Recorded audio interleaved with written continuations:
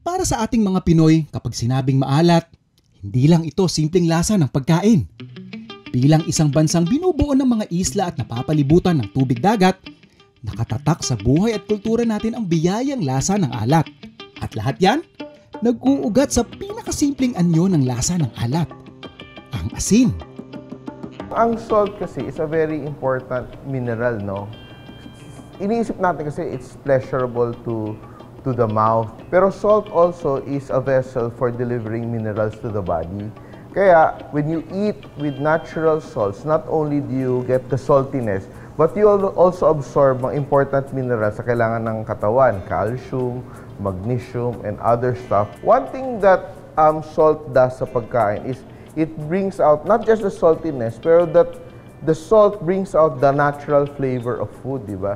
Kahit saan ka pumunta sa mundo, ang salt is very important. And even sinasabi nga nila yung history ng salt, pag sinabi mong yung salary natin, galing sa salt. Because before, in the olden times, people were paid in salt because it had so much value. No? Kasi especially noong mga panahon ni Alexander the Great, ano yung value ng asin? Hindi lang nang magpapasap ng pagkain, pero kailangan ng mga warriors sila because without salt, the muscles, the, the body will not be able to function properly. Siguro sa panahon ko, di ba sinasabi nila, kahit magdildil lang ako ng asin, di ba? And we think it's very lowly for that. Pero alam mo, kahit asin lang yung inuulam, nung panahon na yon, it was natural salt filled with minerals. So kahit na kanin at saka asin lang yung kinakain, there is nourishment and it is healthy. Malaking bahagi talaga ng pagkain Pilipino ang asin. Patunay dyan ang sari-saring pamamaraan nating mga Pinoy ng paggawa ng asin na matatagpuan sa iba't ibang panig ng bansa. Gaya ng minsang nakilala nating asin sa buyo sa Sambales.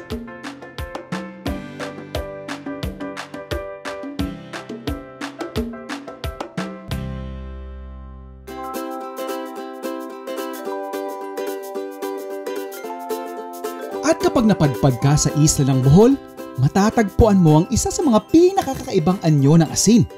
Ang asin tibuok na ginagawa sa bayan ng Albuquerque.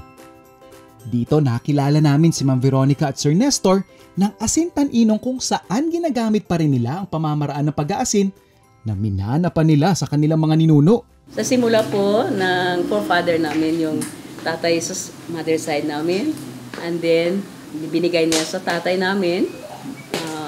Nag-umpisa yung tatay namin, mga 1940s. Then yung forefather namin is 1800s yun. Nung matanda na yung tatay namin, na hinto yun uh, by the year uh, 1980s. By the year 2010, uh, naisipan ng kapatid namin yung youngest brother sa tatlong magkakapit na lalaki, siya talaga ang may passion uh, na ibalik yung paggawa ng asintibog. Kasi alam niya kung gaano kahirap, anong sakripisyo yung ginawa ng tatay namin. Kaya sabi niya, kahit na hindi pa kilala yung asintibog, kahit hin- walang pera sa asintibog, and then kinumbinsin niya si Nong Nestor. At first, si Nong Nestor ayaw niya kasi sobrang ah, laborious talaga. And then walang pera.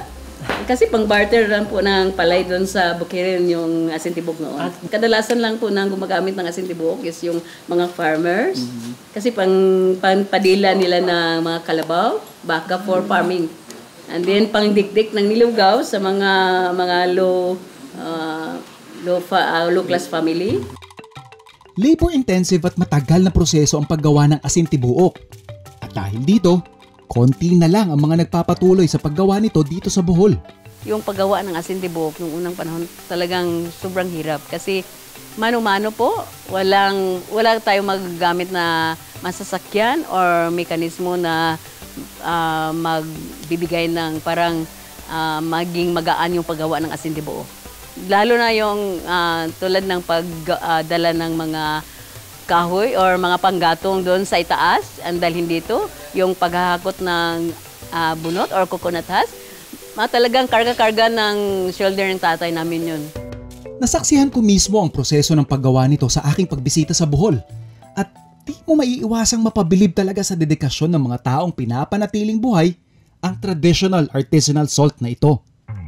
Sa umpisa talaga, ah, maghahakot ka ng coconut husk at isusok mo yan for 3 to 4 months before bago siya hanguin at i-chop. Nilalagay doon sa pan or paril. Natural seawater papasok doon sa paril. Mm, yung high tide papasok. And then kaya ah, natural siyang nasusok yun sa seawater. And then mag magagather din ng mga panggatong, yung mga punong ah, mga sanga ng puno. Mataas na panahon na kailangan i-sakripisyo mo para mag kasi for 3 to 4 months sa umpisa maghihintay ka na masusok talaga ng gusto yung uh, coconut husk dun sa paril bago mo hanguin at saka isa-chop. And then kung mariready na po yun lahat, ayun po, magumpisa na po yung burning process. After that, ilalagay natin sa filtration. I-filter natin yung, yung hardened ash. And then for one day also na mag-filter, preparation for the cooking time already. And then cooking time, another preparation for uh, preparing the uh, clay pots in the sa pugon. Uh, almost 7 to 8 hours ang pagkukok po. Dire-diretso po. And then, hayaan yon overnight, kinabukasan, hanggang kaya na yung mahawakan yung clay pot na hindi na sobrang init, yan po, kunin na po at linisin. Sa kabila ng marami pa nating ibang pamamaraan ng paggawa ng asin mula sa iba pang bahagi ng Pilipinas, isa ring realidad na tila unti-unti na rin nakakalimutan ng mga ito. Napakaalat ang katotohanan ng asin sa Pilipinas dahil we import over 90% of the salt consumed in the Philippines. No? Kasi tayo, archipelago tayo, hindi na natin kayang mag-produce ng sapat na asin para sa ating consumption sa Pilipinas. May batas kasi tayo na nagpo-prohibit ng pagbenta ng natural na salt, no? Yung salt na ginawa mo galing sa dagat or other sources, hindi siya pwede kasi illegal siya because it has to be iodized for health reasons. So, yun ang batas natin, salt law, bawal ang magbenta ng natural salt. Lahat ng asin natin dapat maging iodized. Ngayon naman, sa larangan naman ng export at manufacturing, nare-reject din yung produkto natin na may asin dahil ang iodine or ang pag-iodize ng salt dito sa Pilipinas is not acceptable kasi hindi siya healthy para sa tao. So napakalaking irony, no? ang hilig natin sa asin pero hindi natin kontrolado ang supply natin. At number two, hindi pala talaga siya proven na healthy yung paglagay ng iodine kasi kinokontra din siya ng ibang mga bansa. Sa kabila nito, may mga komunidad at pamilya gaya ng kina Ma'am Veronica at Sir Nestor na patuloy pa rin pinapahalagahan ang mga minanang tradisyon sa paggawa ng asin at pinagsisikapang ipakilala ito sa mundo. At para bigyang pugay ang dedikasyon ng mga taong patuloy na gumagawa nito, So habang busy-busy yung team nila, Ma'am Veronica at nila Sir Nestor na gumagawa, isa sa very key ingredient na gagamitin ko dito sa niluluto natin, ipe-prepare ko muna yung ibang ingredients natin. So yung ating pusit, hiwain lang natin into portion size. Kung gagawin nyo man to sa bahay, this is optional. Maglalagay lang tayo ng bell pepper, magkaibang kulay, syempre. For this recipe, ito yung isa sa mga dishes na in less than 5 minutes, pag na-prepare mo na lahat, maluluto mo na yung putahe. So basically, you just need your pan ng sobrang mainit. Kasi mabilisan lang ito. And of course, you want na mainit na yung ating pan para lang din ma-retain mo yung perfect texture ng ating squid. Tip lang din, para lang siguro mas consistent yung produktong ilalabas mo when it comes to pusit, uh, basically inuuno kang iluto yung kanyang ulo. Uh, as you notice, iba yung structure niya, iba yung itsura niya, and yung thickness ng ulo. So, may tendency ito pag sinabay-sabay mo sila is ma-undercook yung inyong uh, yung part ng pusit na yon. Kaya yung small attention to detail lang na imbes na pagsabay-sabayin natin siya, eh unahin nyo siguro mga around 2 to 3 minutes bago nyo isalang yung rest na parte ng ating pusit.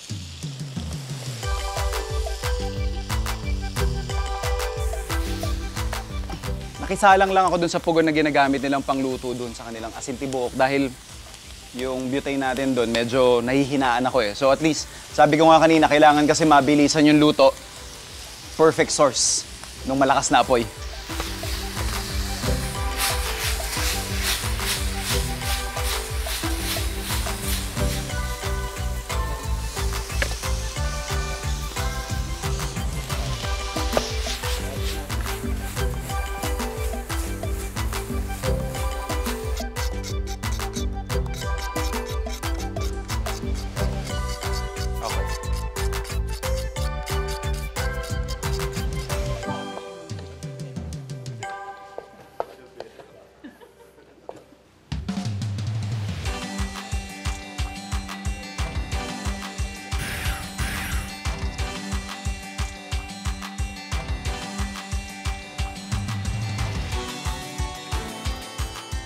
Masasabi nating labor of love talaga ang asin tibuok. At ngayon sa tulong na rin ng social media, unti-unti na ulit itong nakikilala ng marami.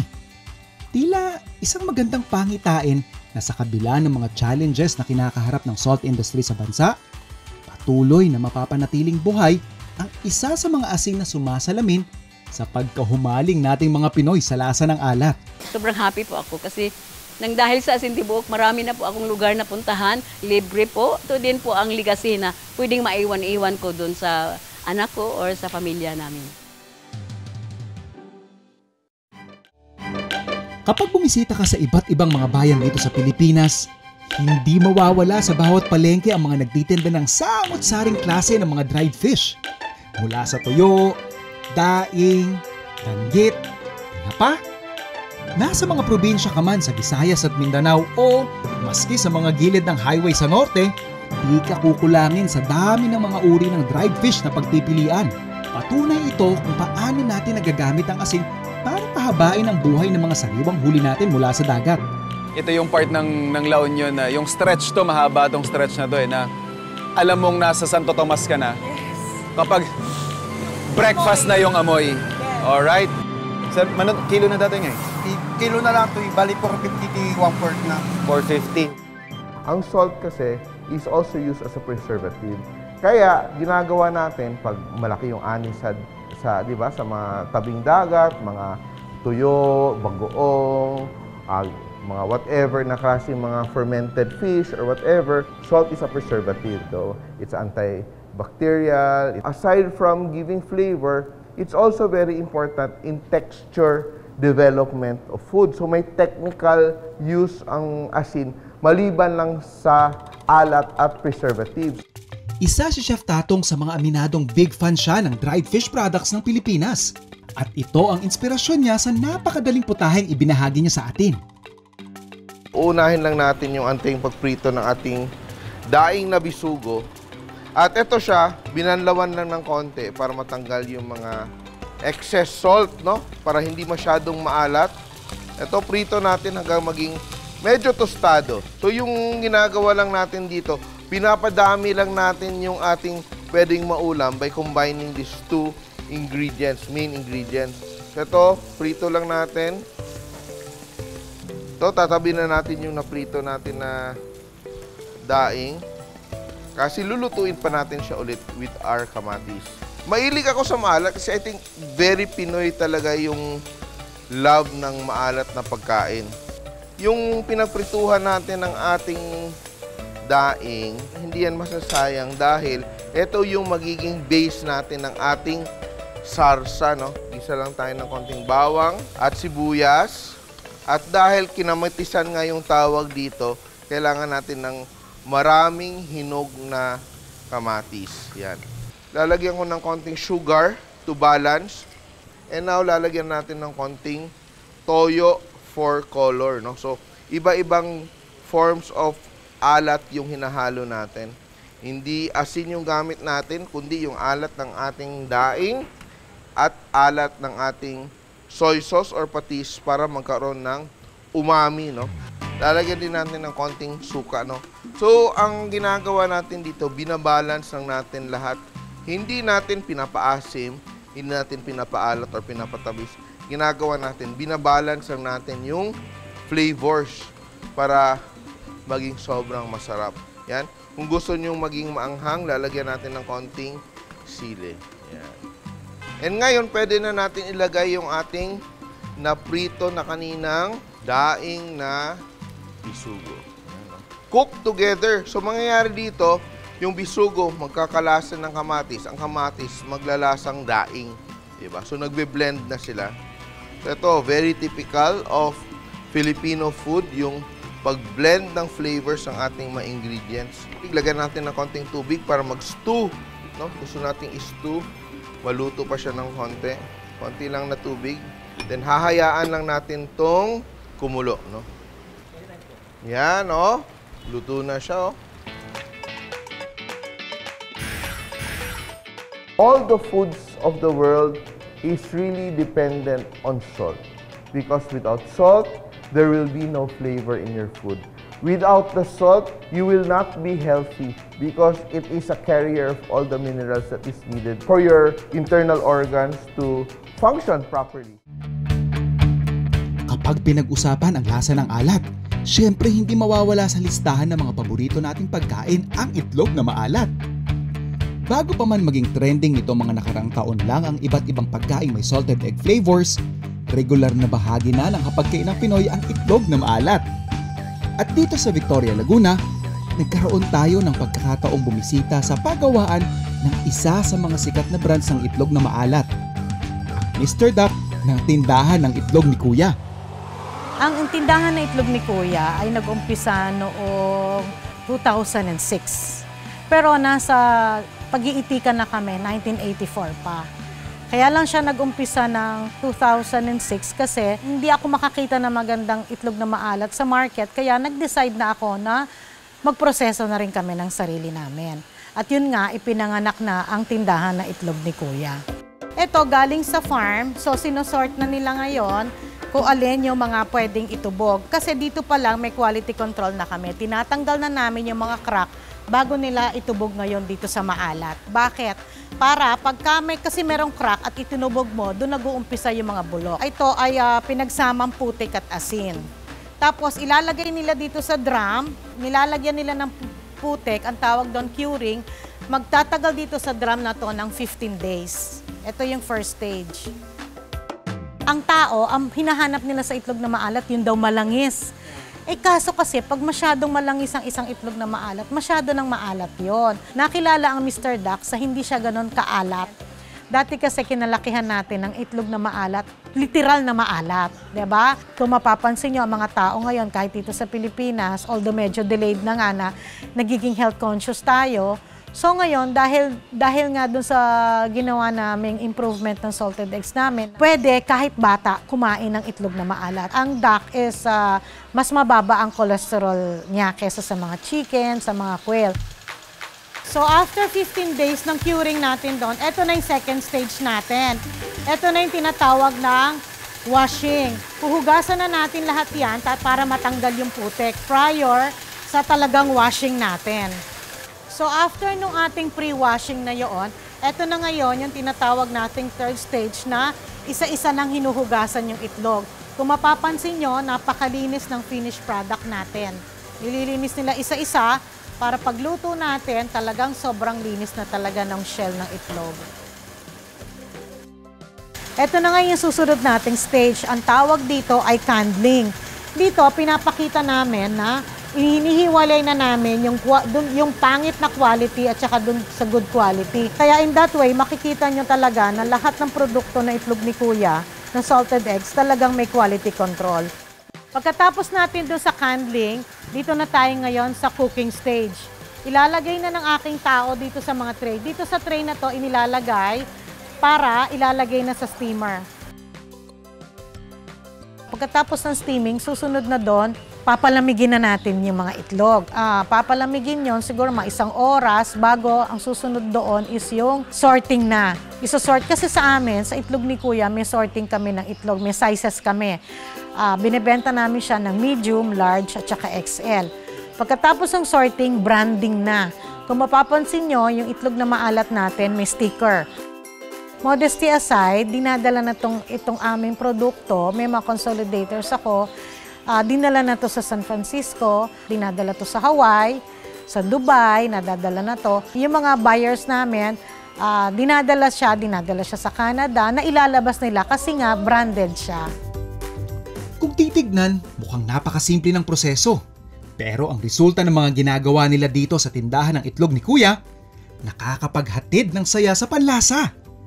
Kaya maski ako, naiengganyo magluto ng mga putahing ibinibida ang lokal na produktong ito. Isang food experience na masasabi kong Pinoy na Pinoy talaga. Bukod sa pampalasa at paggamit ng asin bilang preservative sa karne at isda, mahahanap mo rin ang dominanteng lasa ng alat sa pagkain Pinoy sa iba't ibang uri ng sausawan at condiments na ginagamit natin araw-araw. Tayo as a Filipino, pag sinasabi mong maalat or salty, iniisip talaga natin yung mga hinahalo natin sa ating sausawan. Patis, toyo, bagoong. Napaka wide ng array ng salters available to us no? in the Philippines or around the world. And pag nagluluto kasi tayo, what we want to build is not just one note. Pag sinasabi mong alat-alat lang siya, you want to build complexity, di ba? So pag nagluluto tayo, when we combine all these flavors, it becomes more interesting to the palate. Isa sa mga nakilala ko sa food adventure na ito na nakamaster na ng paggamit ng asin at alat. Para makagawa ng panalong sangkap ang sausawan ay si Sir Minandro, ang may-ari ng isa sa pinakamalaking producers ng bagoong at patis sa Pangasinan, ang Merlis Bagoong. Sa dami ng nagbabagoong dito sa amin, kasi seasonal lang ang alamang. Opo. Pagka seasonal lang, doon lang sila nag-aalamang. Ako po yung pinakaunang nag-storage dito sa amin, sa Lingayen. Oh, kaya pag wala na pong huli yung alamang kasi seasonal, dito na lahat takbo ng mga kapares kong nagbabagoong, dito na sila kumukuha sa amin. Kaya halos dito po kami nagsimulang umasinso sa alamang. Ayan po yung lagayan ng bagoong isda. Lagayan namin for 6 months ang maghihintay na para uh, babango siya. Oh. Tilis din po ito. Dilis din. Mm-mm. Ayun oh. yung bango, ayun yung sinasabi mo, sir. Ah, yung aroma. Lalaba. Mas lalo ito mga Kakagutom, naglalaway ako. mag 2 months pa lang ito. Pero mabango na, parang hinahanap niya na yung pipigaan mo ng kalamansi, tapos mainit na kanin, tapos steamed na talbos ng kamote. Opo. Oh, Lord! No? So, ito po yung, kumbaga naburo na natin na isda. Opo, oh. Kasi ang nangyayari po dito, yung ilalim yung bagoong. Opo, yung laman. Kumakatas yan, yung umaangat, yun po yung Patis. patis. Para lang po mas ma-imagine ng ating mga kapuso sa bahay. So ito po yung bagoong. Oh, ito yung bagoong. oh. Yan. Ito yung patis niya. Yan yung patis, yan po yung binibenta Oo. sa bilihan natin na ito, yan purong patis na ganyan. Oo, ganito na siya. Oo. Okay. Meron ba kayong mangga dyan, sir, na ng puno?